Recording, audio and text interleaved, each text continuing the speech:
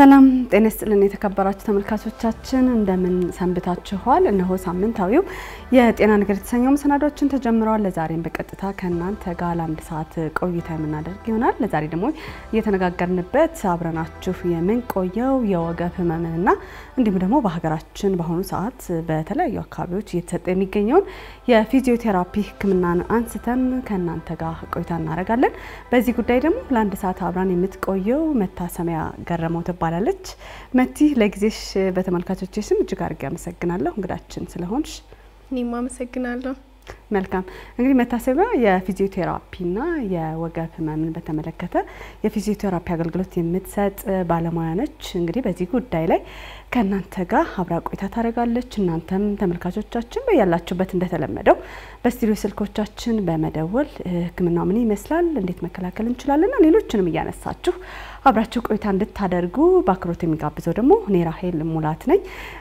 በቅድሚያ ግን በቀጥታ ከመታሰቢያ ጋር ውይይታችን ከመጀመራችን በፊት በእነሱ ተቋም እየተሰጠ የሚገኘውን የፊዚዮቴራፒ ቴራፒ ህክምናና ሌሎችንም ስለ ወገብ ህመም አንስተን ቆይታ አድርገናል። እሱን ተከታትለን ተመልሰን እንገናኛለን። አብራችሁ እንድትሆኑ ግን በድጋሚ እንጋብዛለን።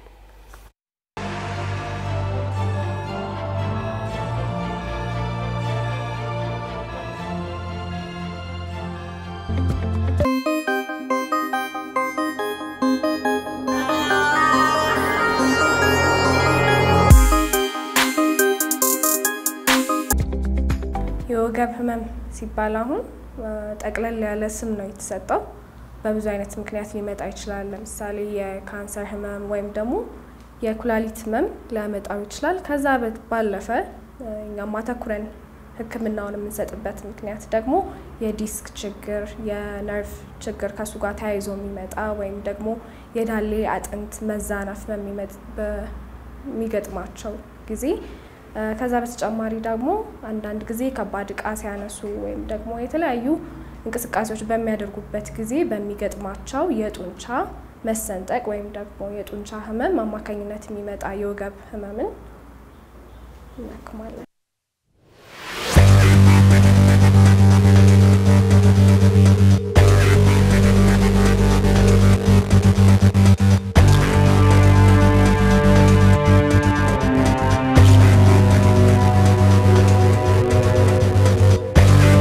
የዲስክ ሊሆን ይችላል። የዳሌ አጥንት መዛነፍ ወይም ደግሞ አንዱ ከአንዱ በሚበልጥበት ጊዜ እግርም እኩል በማይራመድበት ጊዜ ለረጅም ጊዜ ሲቆይ በዛ ተያይዞ የሚመጡ ችግሮች ለምሳሌ የጅማት መቁሰል፣ በዙሪያ ያሉ ጅማት ቁስለት በሚገጥም ጊዜ፣ አንዳንድ ጊዜ ደግሞ ከዲስክ ጋር ተያይዘው የሚመጡ የነርቭ ችግሮች ወይም ደግሞ የነርቭ መጨፍለቅ አማካኝነት የሚመጣ የወገብ ህመም ይኖራል።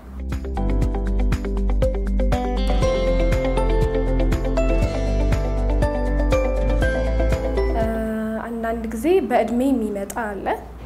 እድሜያችን በጨመረ ጊዜ የዲስኮቹ የውሃ የመያዝ መጠን እየቀነሰ ይመጣል። በዚህ ጊዜ በተፈጥሮ እያነሰ ይመጣል። ስለዚህ exercise ወይም ደግሞ የተለያዩ እንቅስቃሴዎችን መስራት ሊኖርብን ይችላል። አንዳንድ ጊዜ ደግሞ ሴት በመሆን ብቻ ወይም ደግሞ የተለያዩ የሆርሞን effect ኦች ስላሉ በዚህም አማካኝነት ይመጣል። የስራ ባህሪ ለምሳሌ ረጅም ሰዓት የሚያስቀምጥ ስራ ወይም ደግሞ የተለያዩ ከባድ የሆኑ እንቅስቃሴዎች የሚያካትት ስራ ከሆነ ጎንበስ ቀና የሚበዛበት አይነት ስራ ወይም ደግሞ ረጅም ሰዓት እንድንቆም የሚያስገድዱ የስራ ባህሪያት ካሉ የወገብ ህመም ተጋላጭ ሊያደርግ ይችላል።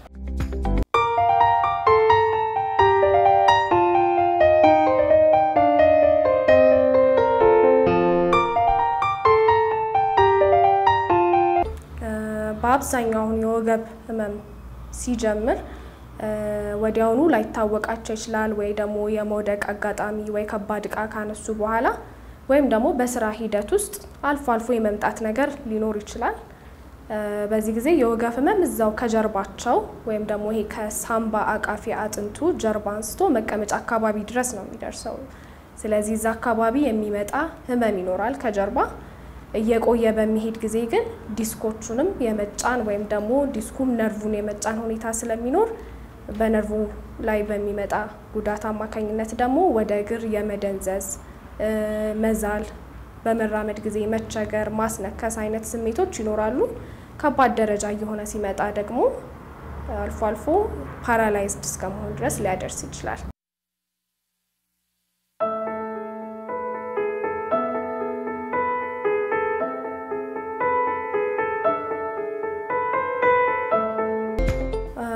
የወገብ ህመም ስሜቱ ወይም ደግሞ ከጀርባ ህመም ሲሰማቸው ጀምሮ የሕክምና እርዳታ ሊያገኙ ይገባል። ከመባባሱ በፊት ከመጀመሪያውኑ ከሆነ የሚያባብሰውንም ወይም ደግሞ ይሄ complication ወይም ከእሱ ጋር ተያይዞ የሚመጡ ችግሮችንም መቅረፍ ስለሚቻል ከመጀመሪያው ህመሙ ሲሰማቸው ወይም ደግሞ አንዳንድ ጊዜ ሳያውቁት በውስጡ ጉዳት ሊያመጣ ይችላል። የመውደቅ አደጋ ወይም ደግሞ ሌሎች ተመሳሳይ ችግሮች የሚገጥማቸው ከሆነ ስለዚህ እነሱ እንዲህ አይነት አደጋዎች በሚያጋጥሟቸው ጊዜ ቶሎ ወደ ህክምና ጣቢያ በመሄድ የፊዚዮቴራፒ ህክምና ወይም ደግሞ የአጥንት ሐኪሞች እንዲያቸው ሊያደርጉ ይገባል።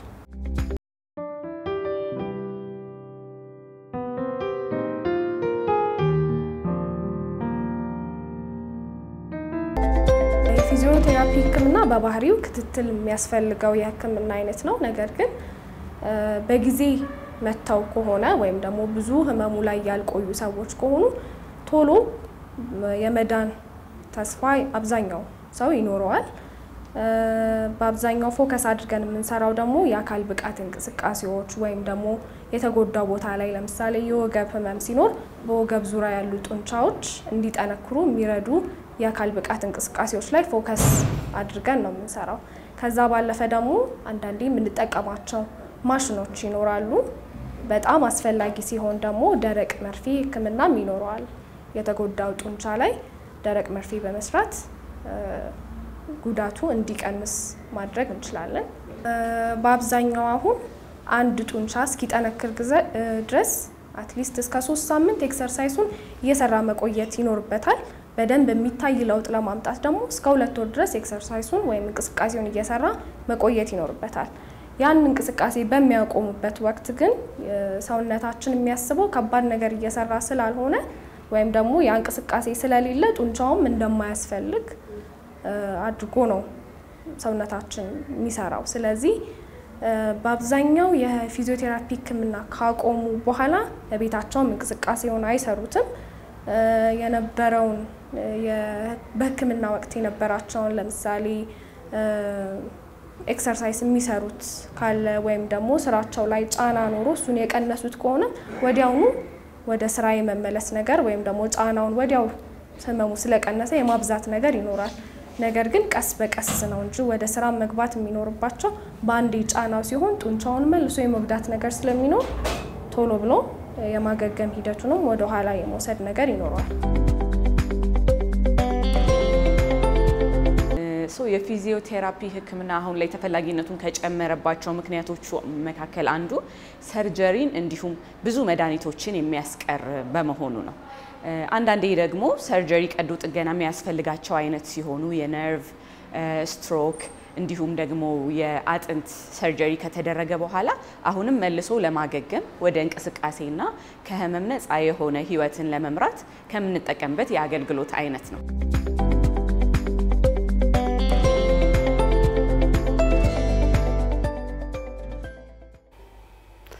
ተመልሰናል ተመልካቾቻችን። አሁንም አብራችሁ እንድትሆኑ በድጋሚ እየጋበዝን እንግዲህ ለዛሬ እየተነጋገርን የምንቆየው የወገብ ህመምን እንዲሁም ደግሞ የፊዚዮቴራፒ ምን ያክል ለወገብ ህመም ጠቀሜታ እንዳለውና ምን ምን ነገሮችን ማድረግ እንደሚገባን እየተነጋገርን አብረን የምንቆይ ይሆናል። በቅድሚያ ግን እስኪ ወገባችን ከየት ይጀምራል? ህመሙ ምን ይመስላል? ምንስ ማድረግ አለብን የሚለውን ባዘጋጀነው ምስል መሰረት የተወሰነ መረጃዎችን እንለዋል። እሺ እንግዲህ ከዚህኛው ምስል ስንጀምር የወገብ ህመም የምንለው ከሳምባ አቃፊ አጥንቶች የሚገኙበት በዚህ በኩል ከዚህኛው አካባቢ ጀምሮ እስከ ታች ወይም ደግሞ መቀመጫ አካባቢ የሚደርስ የህመም አይነት ነው። በአብዛኛው እንግዲህ የነርቭ ችግር ጋር ተያይዞ ሲመጣ ደግሞ ወደ እግራችን ድረስ ወደ ታች የሚወርድ የህመም አይነት ነው። ስለዚህ የወገብ ህመም ስንል እንግዲህ ጠቅለል ያለ ስም ነው የያዘው። የሚጀምረው እዚህ አካባቢ ነው። ከሳምባ አቃፊ አጥንቶች ማለት ከፊት ለፊት ሳምባችን አለ፣ ሚይዝ አዎ። አጥንት አለ። ከሱ በጀርባችን በኩል ይያያዛል፣ ወይም አከርካሪ አጥንት የምንለው ጋር ከኋላ ይያያዛል። ከሱ ጀምሮ ታች ድረስ የሚወርደው በተለይ ደግሞ መቀመጫ አካባቢ ድረስ የወገብ ህመም ብለን ልንጠራው እንችላለን ማለት ነው።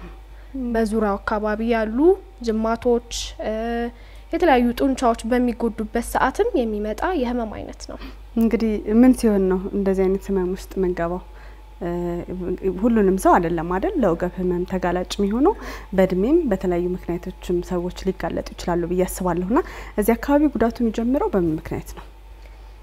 የተለያዩ ምክንያቶች አሉት። እንግዲህ በምክንያት የምንለየው ከሆነ በሁለት አይነት ሊሆን ይችላል። አንደኛው ግልጽ የሆኑ ምክንያቶች ወይም ደግሞ መንስኤውን ልንለያቸው እንችላለን። ለምሳሌ አንዳንድ የካንሰር ህመምተኞች ወይም ደግሞ የኩላሊት ጠጠር ሲኖርባቸው እንደ ምልክት ሆኖ ሊታይ ይችላል የወገብ ህመም።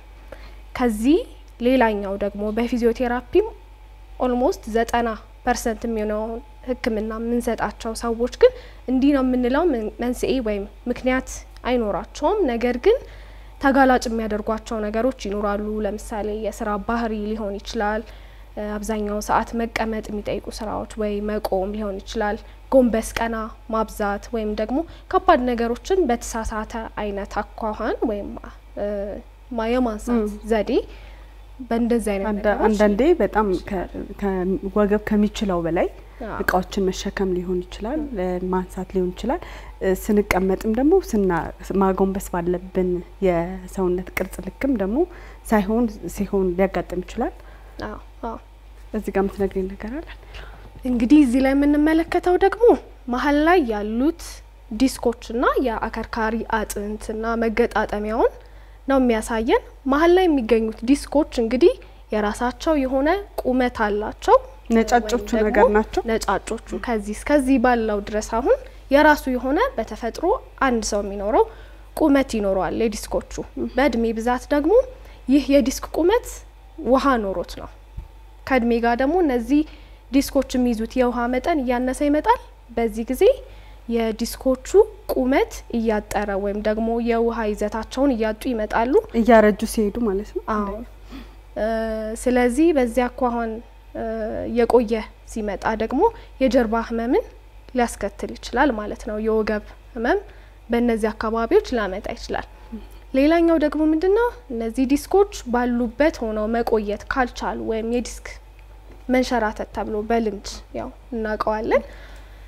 የዲስክ መንሸራተት ስንል እንግዲህ እነዚህ ዲስኮች ከሚገኙበት ቦታ ሲወጡ ቅርጻቸው ሲለወጥ ከውስጥ ያለው ክፍላቸው ወደ ውጪ በሚወጣበት ጊዜ ነው። በዚህ ጊዜ ደግሞ በአከርካሪው አጥንት ወይም ደግሞ የነርቭ ቱቦ የምንላቸው አሉ። በዛ በኩል ከፍተኛ የሆነ ጫና ሊያመጣ ይችላል። የመጀመሪያ ደረጃ ላይ ብዙ የሚባል ጫና አያመጣም። ከጊዜ ብዛት ግን ምንም አይነት ሕክምና የማያገኝ ከሆነ ዲስኩ ከመጠን በላይ ቦታውን እየለቀቀ ሊመጣ ይችላል። የነርቭ ቱቦዎች ውስጥም እስከ መግባት ሊደርስ ይችላል። ይሄ ደግሞ ከፍተኛ የሆነ የሰውነት ጉዳት በተለይ ደግሞ እግር ላይ ከፍተኛ የሆነ ጉዳት ሊያመጣ ይችላል። መልካም እዚህ ላይ የምንመለከተው ደግሞ በሰውነታችን ታች ድረስ የሚሄደውን ረጅም ሻቲክ የምንለው ነርቭ አለ። ይሄ ከወገባችን አንስቶ ወደ ታች እግራችን በኩል ሙሉውን ነርቮቹን የሚያዳርስልን ረጅሙ ነርቭ ነው። ከወገብ አከርካሪ አጥንቶች መገጣጠሚያ ጋር ነው የሚነሳው። ቅድም እንዳልኩት እንግዲህ እነዚህ ዲስኮች ቦታቸውን በሚለቁበት ጊዜ እዚህ ነርቭ ላይ ጫና ሊያሳድሩ ይችላሉ። አንዳንድ ጊዜ ሰዎች ወገባቸው ላይ ምንም ህመም ሳይኖራቸው ወይም ሳይታወቃቸው ወይ የተወሰነ ትንሽ የሚባል ህመም ነው የሚኖራቸው። ነገር ግን ወደ እግራቸው መደንዘዝ፣ ማቃጠል እንደዚህ የመሳሰሉ ከነርቭ ጋር ጀርባዬን አካባቢ ነበር ህመም የሚሰማኝ፣ አሁን ግን ወደ እግሬ ሄዶ የመደንዘዝ እንዲሁም ማቃጠል አይነት ስሜትና ሌሎችንም ያነሳሉ ሰዎች። አዎ እንደዚህ አይነት የነርቭ ህመሞችን ሊያሳይ ይችላል። በዚህ ጊዜ እንግዲህ ይሄኛው ነርቭ እንደተጎዳ ወይም ደግሞ ዲስኩ እየተጫነው እንደሆነ ወይም ደግሞ አከርካሪ አጥንት ላይ ያሉት ሌሎች የሰውነት ክፍሎች ጉዳት እያደረሱበት እንደሆነ እንደ ተጫኑት መረዳት ይቻላል ማለት ነው። መልካም እዚህ ጋር የምናየው እንግዲህ አጠቃላይ የዲስኩን ይዘት ነው። ጤነኛ የምንለው ዲስክ በዚህ በኩል ያለውን አይነት ቅርጽ የሚይዝ ሲሆን ዲስኩ ላይ ጫና በሚመጣበት ጊዜ ወይም ደግሞ የዲስክ መንሸራተት የምንለው ቅርጹን ሲለቅ ደግሞ ወደዚህ መውጣት ይጀምራል። ያ ማለት በዚህ በኩል እንዳለው ነርቮቹን ይጫናል ማለት ነው። ይሄ በቢጫ ምስል የምናየው እንግዲህ ነርቭ ነው። ስለዚህ እነዚህ ነርቮች በሚጫንበት ጊዜ ወደ እግራችን የተለያዩ አይነት ይሄ እንደ መርፌ መውጋት ወይም መደንዘዝ የምንላቸው አይነት ስሜቶች ይመጣሉ ማለት ነው። እንግዲህ በዚህ ጊዜ ደግሞ ወገብ ላይም እግር ላይም እንዲህ አይነት ስሜቶች ህመም ሊኖር ይችላል። ስለዚህ የወገብ ስንል የወገብ ህመም ስንል እንግዲህ ወደ እግርም ሊሄድ ይችላል ማለት ነው። ያው መነሻው ግን እዛው አካባቢ ያሉት መገጣጠሚያ መቀመጫ አካባቢ ያሉ መገጣጠሚያ ሊሆን ይችላል። በተለያየ ምክንያቶች ጉዳት ሲደርስባቸው ጉዳት ሲደርስባቸው ቦታቸውን ሲቀይሩ ሲበዛበት ቦታው ሲቀየር የተፈጥሮ የሆነ ያለውን ይዘት እያጣ ሲመጣ የወገብ ህመም ሊያስከትል ይችላል።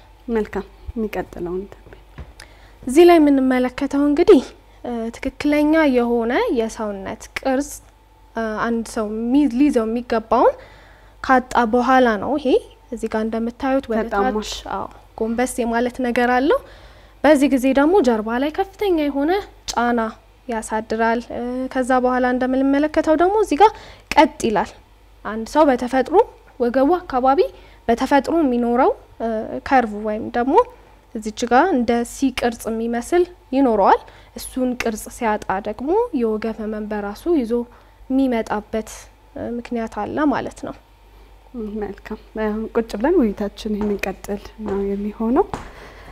እንግዲህ ተመልካቾቻችን ለዛሬ እየተነጋገርንበት የምንገኘው የወገብ ህመምን አስመልክተን ነው። በዚህ ጉዳይ ላይ እንደተለመደው በስቱዲዮ ስልኮቻችን በመደወል ይህን ጉዳይ አስመልክቶ ጥያቄዎችን ለመቲ ማድረስ ትችላላችሁ። አብራችሁን ስለምትሆኑ እንደ ሁልጊዜ ሁሉ ስለምትደውሉልን፣ ስለምትከታተሉን በዋልታ ቴሌቪዥን ስምና እንዲሁም ደግሞ በጤና ነገር ስም እጅግ አድርጌ አመሰግናለሁ። አሁንም ከኛ ጋር ያላችሁ ቆይታ የሚቀጥል ይሆናል። እኛም ከእናንተ ጋር አብረናል። እስከ መጨረሻው አብራችሁን ሆኑ።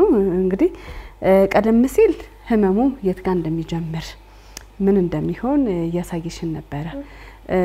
በአጠቃላይ ግን በተለያየ ምክንያት ሰዎች ወገባቸውን ይታመማሉ አይደል?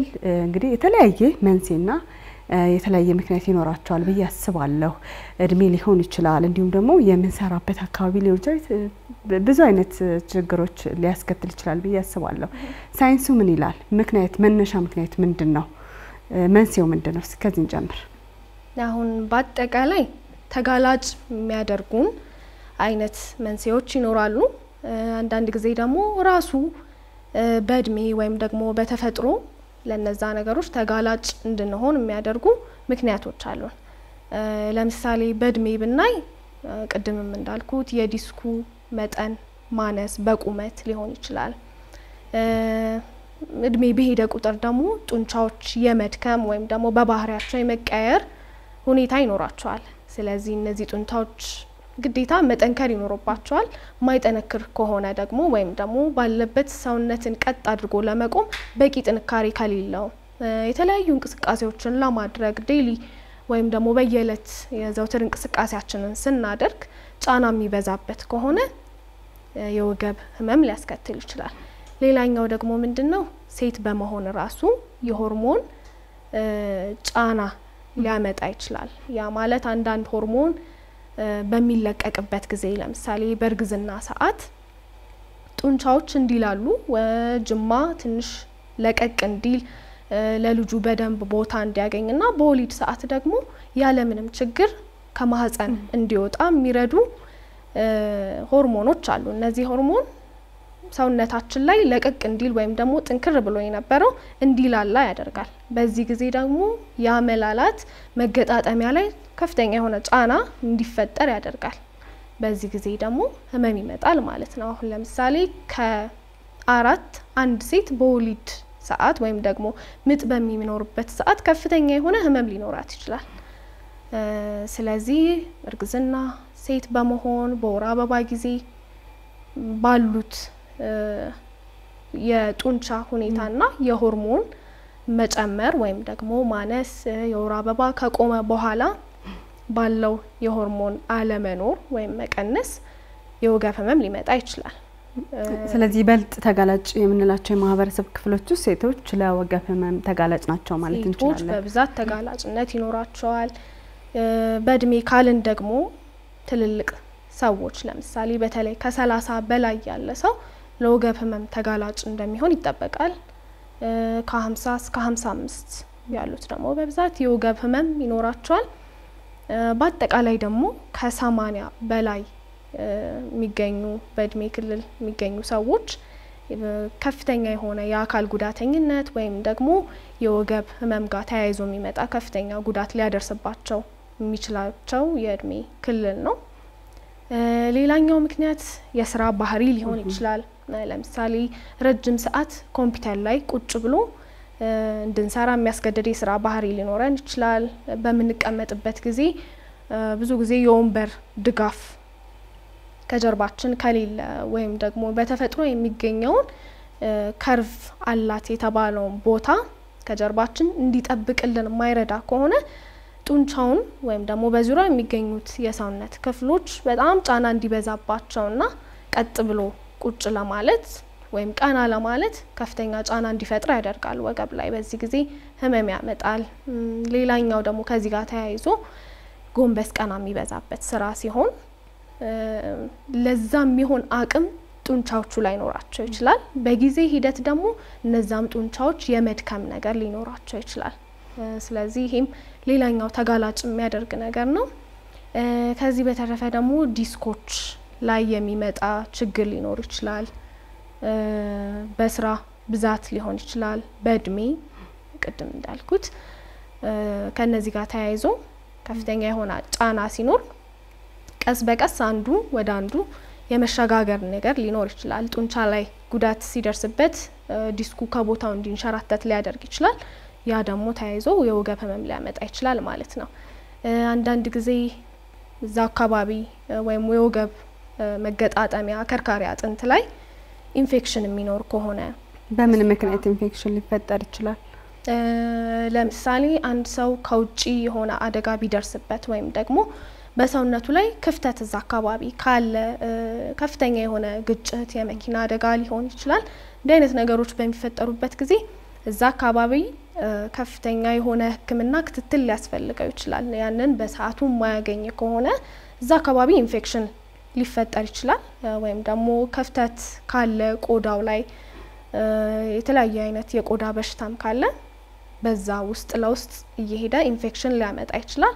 ያ ተሰራጭቶ ወደዛ ሊሄድ ይችላል።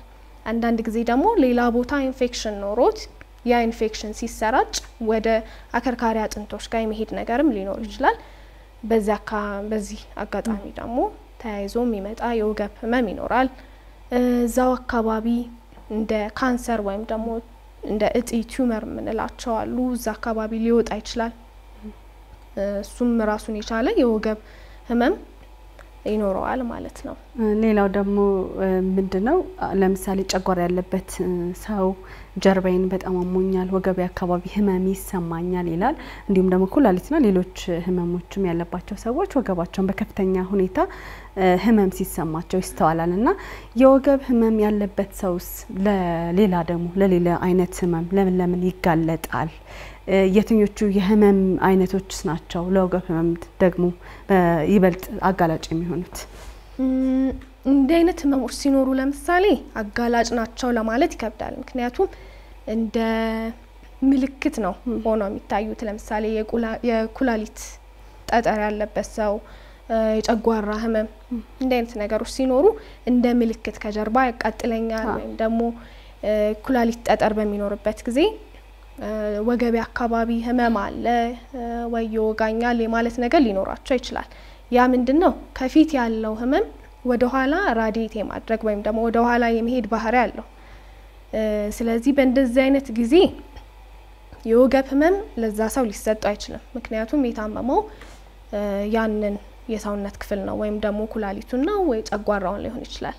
ስለዚህ የወገብ ህመሙ ሳይሆን እነዛን ክፍሎች ነው ማለት ነው። ህክምና ለዛ ነው የሚሰጠው። በእንደዚህ አይነት ጊዜ እንደ ምልክት ሆኖ ነው የሚመጣው። በዋነኛነት ግን ለብቻው ለምሳሌ እዛ አካባቢ የአጥንት መሳሳት በተለይ ደግሞ ሴቶች ላይ ይስተዋላል። የአጥንት መሳሳት ካለ ወይም ደግሞ እርስ በርስ መገጣጠሚያው ጋር የአከርካሪ ወገብ ላይ ያለው መገጣጠሚያ ዳርዳሩን በተፈጥሮ ያላቸው ይዘት አለ።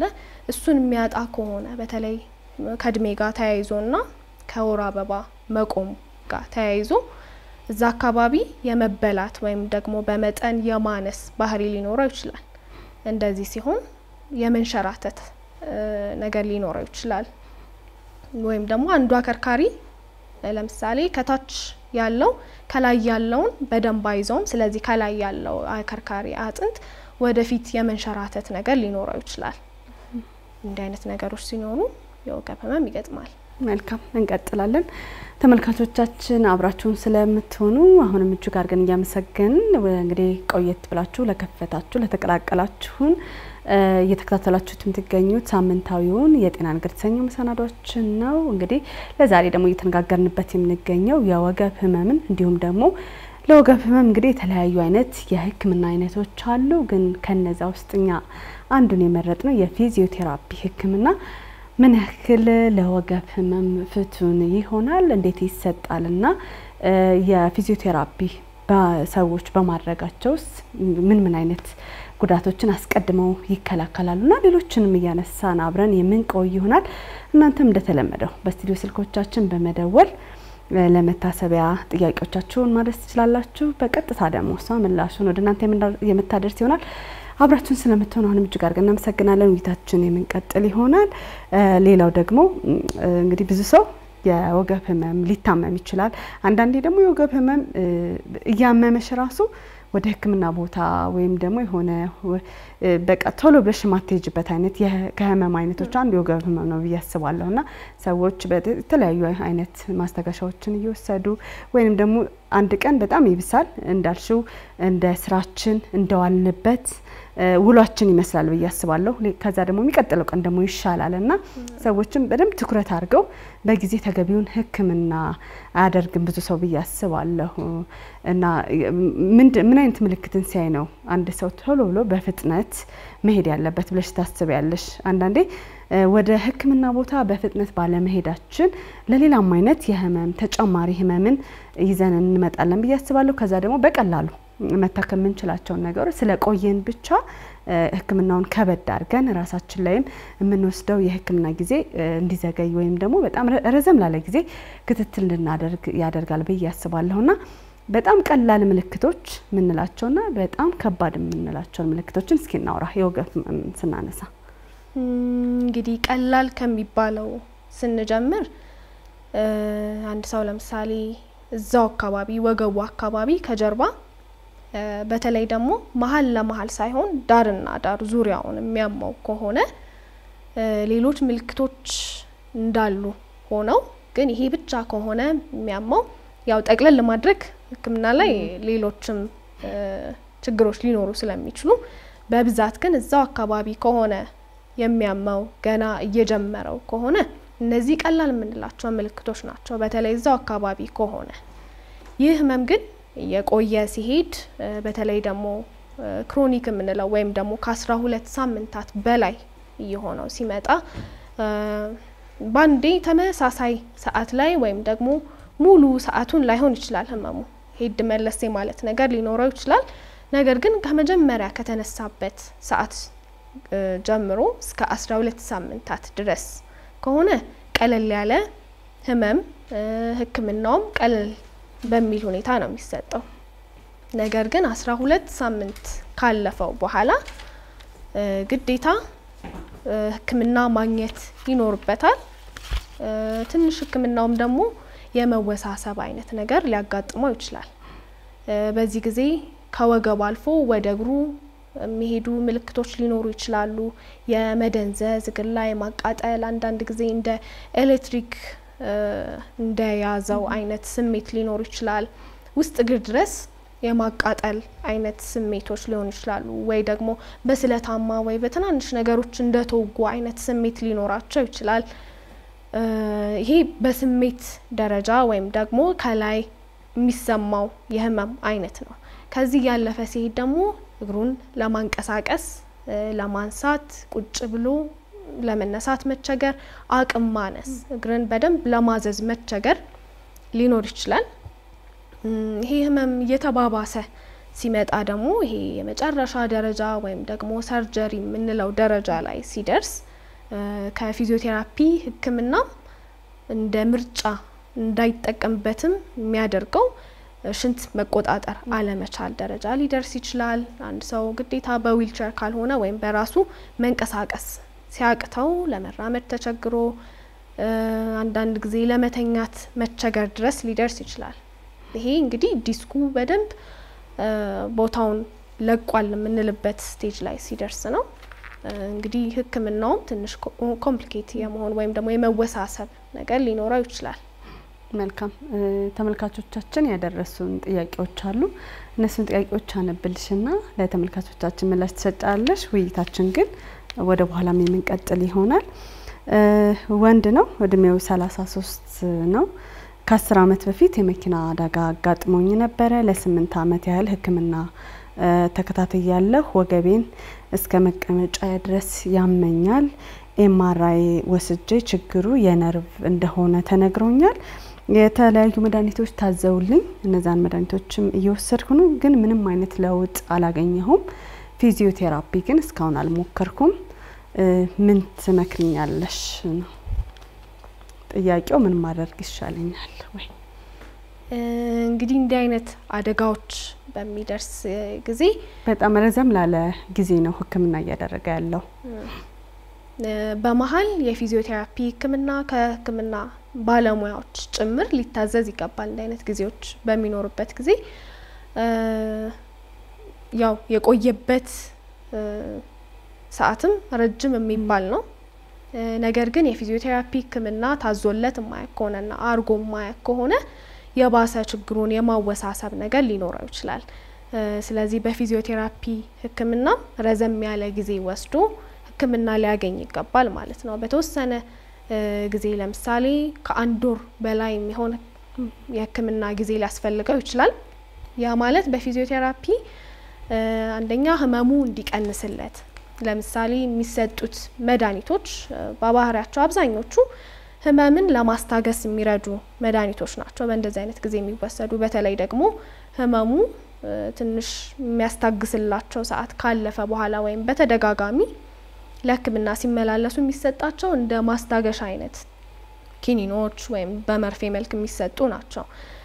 እነሱ መድኃኒቶች ደግሞ ያው በባህሪያቸው ለተወሰነ ጊዜ ከተጠቀምሹ በኋላ ሰውነት እየለመደው ይመጣል ወይም ደግሞ ነርቮቹ እሱን ብሎክ አያደርግም ወይም ደግሞ ያ መድኃኒት ቢወሰድም መጠኑ በጣም በየጊዜው እየተጨመረ እየተሰጠ ካልሆነ በስተቀር እንደ በፊቱ ምላሽ መስጠት ያቆማል ማለት ነው ሰውነት። ስለዚህ እነዚህ መድኃኒቶች ከመጠቀም ይልቅ የፊዚዮቴራፒ ህክምና ጀምሮ አጠቃላይ የወገብ ጡንቻዎቹ እንዲጠነክሩ ማድረግ ያስፈልጋል።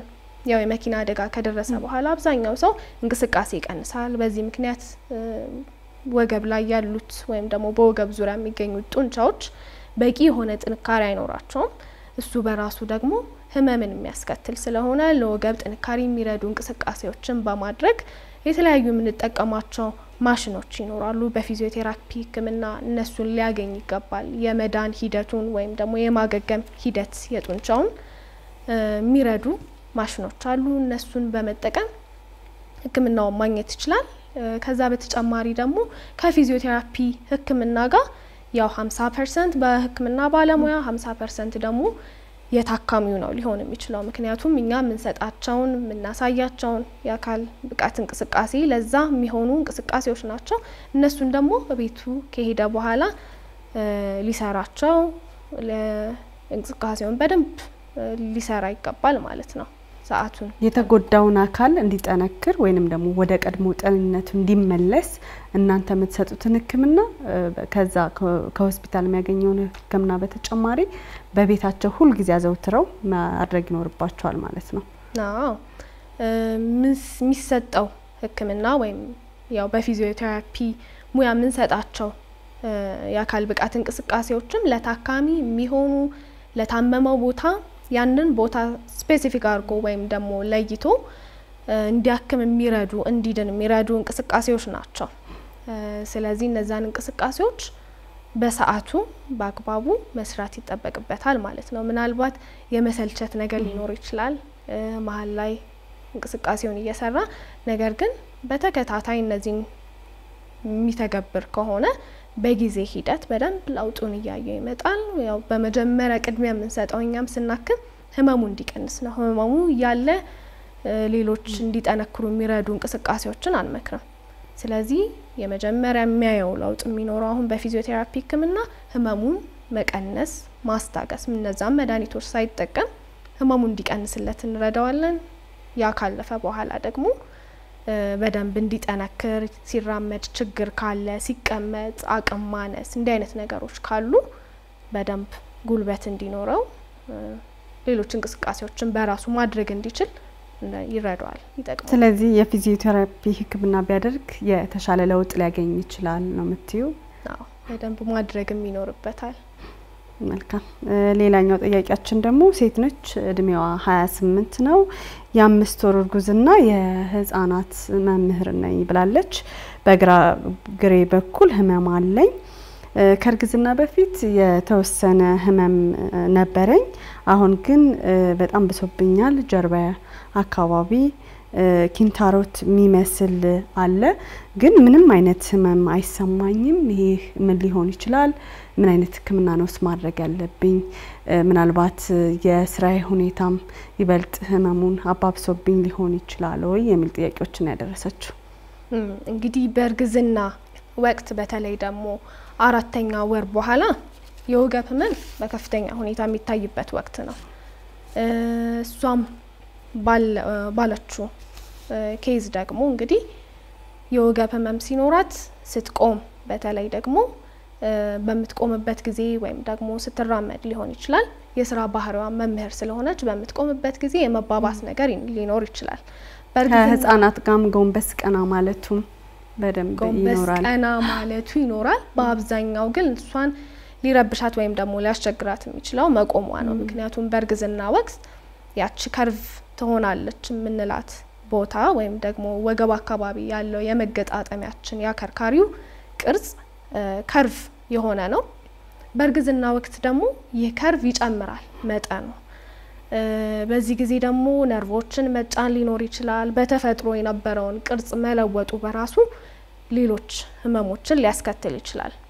በእርግዝና ወቅት ደግሞ እነዚህ በዙሪያው ያሉ ጅማቶች ወይም ደግሞ ጡንቻዎች መላላት ይኖራቸዋል። ይህንንም ቅርጽ ስለሚለውጥ ማለት ነው።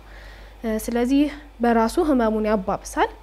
ይቺ ከርቭ ያላት ቅርጽ ደግሞ ወገባችን ላይ ቁጭ ስንል ብዙ አይደለም። በምንቆምበት ጊዜ ግን በደንብ ቅርጹን ይዞ ከርቭ ሆኖ ነው የሚቆየው። በእርግዝና ወቅት ደግሞ ይበልጥ ይጨምራል።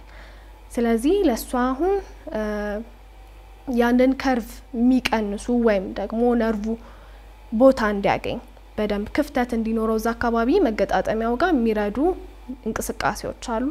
እነሱም በመስራት በተለይ ደግሞ ጉልበትን ወደ ደረት አካባቢ እያጠፉ ወይም ደግሞ በመንበርከክ የሚሰሩ የተለያዩ እንቅስቃሴዎች አሉ። ምናልባት ከእርግዝና ጋር የምትሰራቸው እንቅስቃሴዎች ምን ሊሆኑ ይችላሉ? ለምሳሌ አልጋ ላይ ባለችበት ሆና ጎንበስ በማለት ወይም ደግሞ በመንበርከክ የምትሰራቸው እንቅስቃሴዎች ይኖራሉ። ጎንበስ በምትልበት ጊዜ እንግዲህ ከምትቆመው ተቃራኒ ቅርጽ ስለሚይዝ ከጀርባ ያለው የአከርካሪ አጥንት መገጣጠሚያዎች ጋር ለነርቮቹ በደንብ ቦታ እንዲሰጥ ክፍተት እንዲኖር ስለሚረዳው ህመሙን በደንብ የማስታገስ ባህሪ ይኖረዋል። እርጉዝ የሆኑ ሴቶችን በሚመጡበት ጊዜ በተለያዩ ሕክምና ቦታዎች ጋር የተለያዩ ማሽኖች አሉን። እነሱን መጠቀም ስለማንችል በአብዛኛው የምንረዳቸው በእንደዚህ አይነት መልኩ ነው። እነዚህን እንቅስቃሴዎች በሚያደርጉበት ጊዜ የሚፈጠረው ጫና እንዲቀንስ፣ ነርቡ በደንብ ቦታ እንዲያገኝና ረጅም ሰዓት ሲቆሙ ወይም ደግሞ የተለያዩ እንቅስቃሴዎችን ሲያደርጉ ህመማቸው እንዲቀንስ እንረዳቸዋለን። ምናልባት እሷም የስራ ባህሪዋም ትንሽ ስለሚያስቸግራት በተቻለ መጠን ግን መቆም ወይም ደግሞ እነዚህ ከባድ የምንላቸውን ነገሮች ለጊዜው መቀነስ ሊኖርባት ይችላል። መልካም እንግዲህ በዚሁ ጥያቄ ልቀጥልልሽ ነው። የትኞቹ የስራ ዘርፎች ናቸው ለዚህ ለወገብ ህመም ይበልጥ አጋላጭ የሚሆኑት?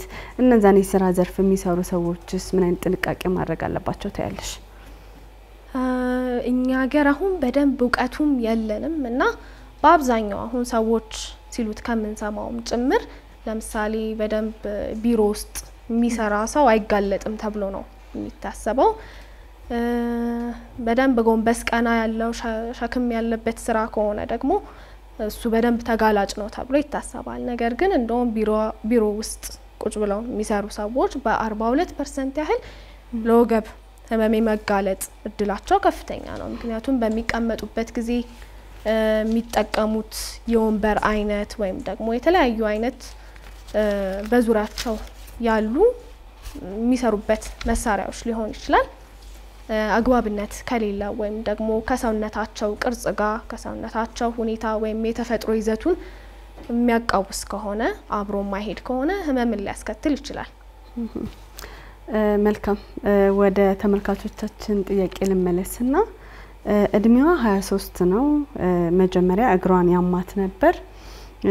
ከዛ ቀጥሎ ወገቧን እያለ ደግሞ አሁን ላይ አንገቷ ተቆልምሞ መንቀሳቀስ ተስኗታል። ምናልባት ይሄ በፊዚዮቴራፒ መዳን ይችላል ወይ? ምን ማድረግስ አለብን?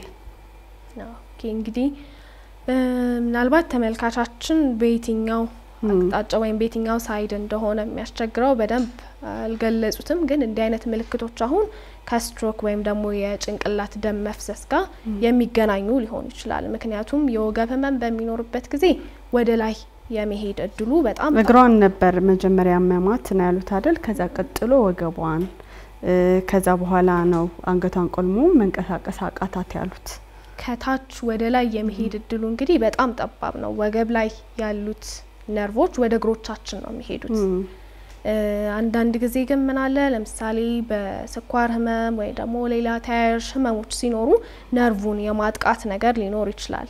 እነዚህ ነርቮች በሚጎዱበት ጊዜ ደግሞ ከታች ወደ ላይ አንስቶ የተለያዩ አይነት በሽታዎች አሉ።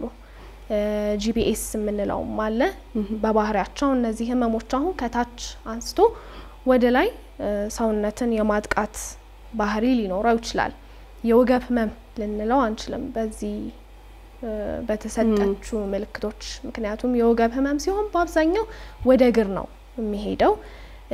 ከእግር አንስቶ ወደ ላይ የመሄድ እድሉም በጣም ጠባብ ነው። ከወገብ ስለሆነ መነሻው አብዛኛው ህመም እግር ላይ ምናልባት መንሰፍ፣ የመስነፍ ወይም ለማንቀሳቀስ ለማዘዝ መቸገር ሊኖር ይችላል። ወይም ደግሞ መደንዘዝ፣ ሌሎች አይነት ህመሞች ሊኖሩ ይችላሉ። አንዳንድ ጊዜ ወገብ ላይ ሳያማቸው ቀርቶ አንዳንድ ሰው ላይ የተወሰነ ሰው ላይ ላይታወቀው ይችላል። ግን ነርቡ በሚጎዳበት ጊዜ በተለይ ደግሞ ይሄ መቀመጫ አካባቢ ያለው ጡንቻ ጉዳት ሲደርስበት ወይም ደግሞ በቂ የመሳሳብ አቅም ከሌለው እዛ አካባቢ ቁስለት ሲኖር ወገብ አካባቢ ህመም ላይኖራቸው ይችላል። ነገር ግን ከነርቡ ጋር ስለሚገናኝ ነርቡ ላይ በሚመጣ ጫና አማካኝነት ወደ እግር ላይ ህመም ሊኖር ይችላል። ትንሽ ቆይቶ ግን አንዳንድ ጊዜ አንድ እግር ላይ ህመም ሲኖር ደግሞ ሳናቀው ማስነከስ ሊኖር ይችላል። ወይም ደግሞ ወደ አንድ አቅጣጫ የማጋደል ነገር ሊኖር ይችላል። በዚህ ጊዜ የቆየ ይህ ህመም ወደ ወገብ የመምጣት ነገር ሊኖረው ይችላል። መቀመጫ አካባቢ ያለው ጡንቻም የተዛነፈ ከሆነ ማስነከስ ሊያመጣ ይችላል። በጊዜ ሂደት እዛ አካባቢ ያሉት ጅማቶችን፣ ጡንቻዎች እንዲጎዱ በማድረግ የወገብ ህመም ሊያስከትል ይችላል። ተመልካቻችን ምንድነው ማድረግ ያለባቸው? እናንተ ጋር ቢመጡ ለውጥ ልታመጣ ትችላለች ወይ ሊያመጣ ይችላል ወይ? እኛ ጋር ቢመጡ አሁን በመጀመሪያ መንስኤውን ማወቅ ይኖርብናል። ስለዚህ imaging ወይም ደግሞ X-ray፣ MRI ውጤቶች ሊያስፈልጓት ይችላሉ። ከዛ በተረፈ ደግሞ የተለያዩ የደም ምርመራዎች አሁን ከገለጸቻቸው ሌሎች የህመም ምልክቶች እንዳሉ እና እንደሌሉ ማጣራት ይኖርብናል። እንዲህ አይነት ነገር ሲኖር ብዙ ጊዜ ሙሉ ምርመራ ያስፈልጋል። በአብዛኛው የጤና ክትትል ያስፈልጋል የምንልበትም ምክንያት ይሄኛው ነው። እንዲህ ነው ለማለት የሚያስቸግሩ ብዙ ህመሞች ስላሉ ከነሱ የትኛው እንደሆነ ለመለየት ሌሎች ምርመራዎች ሊያስፈልጉን ይችላሉ። ሕክምናውንም በሚገባ ለመስጠት የትኛው አካል እንደተጎዳ ማወቅ ስለሚያስፈልግ ወደ ሆስፒታል ሂዶ ተገቢውን ምርመራ በማድረግ ቅድሚያ ለጤና መስጠት ብለን እናስባለን። ስለዚህ ምርመራ እንዲያደርጉላት ወይም እንዲያደርጉለት ነው የምትመክሪው ማለት ነው። ሌላኛው ጥያቄያችን ደግሞ እድሜዋ ወይንም እድሜው 36 ነው። እየሄድኩ እያለ በድንገት ላይ እግሬን ሸመቀቀኝ። ሐኪም ቤት ሲሄድ የዲስክ መንሸራተት እንዲሁም ደግሞ የተንሸራተተው አጥንት ነርቭን ተጭኖታል ተብዬ ተነገረኝ። ከዛ ህመሙ በጣም ከፍተኛ ነው። ቀዶ ጥገናም እንዳደርግ ተነግሮኛል። ግን ቀዶ ጥገናውን አላደረግኩም። ምናልባት ፊዚዮቴራፒ ሕክምና ባደርግ ህመሜን ሊሻለኝ ይችላል ወይ? ምን ማድረግስ አለብኝ?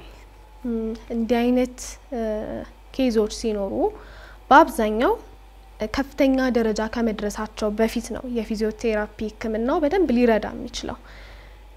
በቅድሚያ ህመሙ እንደተሰማቸው እንዲመጡ የምንመክረውም ለዚህም ጭምር ነው። አሁን ለምሳሌ እንዲህ አይነት የዲስክ ችግር እንዳለው ተነግሮ አጥንት መንሸራተት፣ እንዲህ አይነት ተያያዥ ነገሮች ከመታየታቸው በፊት የሚኖሩ ምልክቶች ይኖራሉ። እዛው አካባቢ ምናልባት ቀለል ያለ የወገብ ህመም ሊኖር ይችላል። መሸምቀቅ ደረጃ ከመድረሱ በፊት ደግሞ የተለያዩ አይነት እግሩ ላይ የሚታዩ ምልክቶች ሊኖሩ ይችላሉ። ይሄ መደንዘዝ፣ ማቃጠል ሊሆን ይችላል። ወይም ደግሞ መቀመጫ አካባቢም ህመም ሊኖር ይችላል። እነዚህም በደንብ ማስተዋል ይፈልጋል። ስሜትን፣ ህመምን ማዳመጥ ይፈልጋል። ጊዜ እየተሰጠው ሲሄድ ደግሞ አንዳንድ ጊዜ የአጥንት እዛው አከርካሪ አጥንት ላይ የወገባችን ጋር እርስ በርስ ያለውን ይዘት አቶ አንዱ በአንዱ ላይ የመንሸራተት ነገር ሊኖር ይችላል። በዚህ ጊዜ ደግሞ ነርቭ ላይ ከፍተኛ የሆነ ጉዳት፣ ጫና ያመጣል። ስለዚህ አሁን የህክምና ባለሙያዎችም ቀጥታ ሰርጀሪ ከመታዘዙ በፊት ያለበትን ደረጃ አይተው በፊዚዮቴራፒ ህክምና እንደሚመለስ ተስፋ ያለው አይነት ከሆነ ወደኛ ነው የሚልኳቸው። በአብዛኛው የፊዚዮቴራፒ ህክምና የተወሰነ አድርጎ ያለው ለውጥ ከታየ በኋላ ለውጥ የሚኖረው አይነት ከሆነ ህመሙን የሚቀንስለት ከሆነና ከጊዜ በኋላ ሲታይም የመስተካከል አይነት ነገር ካለው በተወሰነ ደረጃም ቢሆን ህክምናውን እንዲቀጥል ወይም ደግሞ የፊዚዮቴራፒ ህክምና እንዲከታተል ሊደረግ ይችላል። ነገር ግን ሰርጀሪ ደረጃ ከደረሰ በኋላ የፊዚዮቴራፒ ህክምና ቢያደርግ ያን ያህል የሚያመጣው ለውጥ አይኖርም። ምክንያቱም የፊዚዮቴራፒ ህክምና በባህሪው የተለያዩ እንቅስቃሴዎችን እና ማሽንን በመጠቀም በተለይ ደግሞ እንቅስቃሴዎችን በመጠቀም የዲስክ ችግር ካለ ሌሎች ነገሮች ካሉ እነሱን ማስታገስ ህመምን ማስታከስ በደንብ ሳይጎዳ መከላከል መከላከል ነው አብዛኛው ድርሻው የሚሆነው። በዚህ ደግሞ እንግዲህ ሌሎች የኦርቶፔዲክ ወይም ደግሞ ሌሎች የጤና ባለሙያዎችም ባለድርሻ አካላት የሚሆኑት እነሱ ናቸው። ሰርጀሪ ከመሄዳቸው በፊት ወደኛ ይልኳቸዋል። ወደ ሰርጀሪ የተባለው ግን ከዛ ደረጃ አልፎ ከሆነ ከሰርጀሪ በኋላ ነው የፊዚዮቴራፒ ህክምና የሚሆነው። መልካም። ሌላኛው ጠያቂያችን ደግሞ ሴት ናቸው። እድሜያቸው አርባ አምስት ነው። የወገብ ህመም የጀመረኝ ወድቄ ነበር። ብዙ አይነት ህክምና አድርጊያለሁ ፊዚዮቴራፒን ጨምሮ ብወስድ ምንም አይነት ለውጥ ግን አላገኘሁም። አሁን ጭራሽ በዱላ ነው እየሄድኩ ያለሁት። ሽንቴንም መቆጣጠር አልችልም። ምን ባደርግ ነው የተሻለ ለውጥ ማግኘት የምችለው? እንግዲህ እንዲህ አይነት case ኦች በሚኖሩ ጊዜ በተለይ ደግሞ ሽንት መቆጣጠር አለመቻል በሚኖርበት ጊዜ ከፍተኛ የሆነ የነርቭ ጫና አለበት የምንለው የምልክት አይነት ነው። በአብዛኛው እድሜ ገፋ ያሉ ሰዎች ላይ ሰርጀሪ ማድረግም ስለማይመከር የፊዚዮቴራፒ ህክምና ነው እንዲያደርጉ የሚመከሩት። ነገር ግን ምን ያህል የፊዚዮቴራፒ ህክምና ተከታትለው እንደነበረ ግልጽ ቢያደርጉልን ጥሩ ነበር። ምክንያቱም አብዛኛው ሰው ለተወሰነ ጊዜ ህክምናውን ይከታተላሉ። የፊዚዮቴራፒ ህክምና በባህሪው ደግሞ ጊዜ ይፈልጋል። ምክንያቱም አንድ ጡንቻ ለተወሰነ ጊዜ እንቅስቃሴ እየሰራ ቆይቶ እስኪድን ድረስ ወይም ደግሞ በቂ የሚባል ጥንካሬ እስኪያመጣ ድረስ በትንሹ አራት ሳምንታትን ሊፈጅ ይችላል። የተጎዳ ሰውነትን ጥንካሬውን መመለስ ደግሞ ከዛም በላይ በተለይ ደግሞ የመውደቅ አደጋ፣ ሌሎችም ተመሳሳይ አደጋዎች ከደረሱ በኋላ ጥንካሬውን ለመመለስ እና ህመሙን ለማስታገዝ በደንብ ጊዜ ይፈልጋል። በመሀል መሰላቸት ሊኖር ይችላል። ወይም ደግሞ ቶሎ መልስ የማግኘት ወይም ደግሞ ከሕክምናው ምላሽ የማግኘት ፍላጎት ሊኖር ይችላል። ነገር ግን እነዚህን ታግሰው ታካሚዎች ሕክምናቸውን ረዘም ላለ ጊዜ ሊከታተሉ ይገባል። በተለይ ደግሞ እንዲህ አይነት አደጋዎች በሚያጋጥሟቸው ጊዜ በደንብ ትዕግስት ያስፈልጋል። መልካም ጊዜያችን ሄደች ስለሆነ በመጨረሻ እንደ መልእክት እንድታስተላልፊ የምንፈልገው የፊዚዮቴራፒ ህክምና ለወገብ ህመም ምን ያክል ይጠቅማል? ያለን አንድ ደቂቃ ነው። በዚህ መልእክትሽን አስተላልፊ።